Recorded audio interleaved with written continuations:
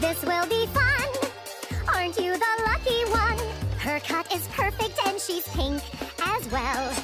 She'll bring you endless entertainment.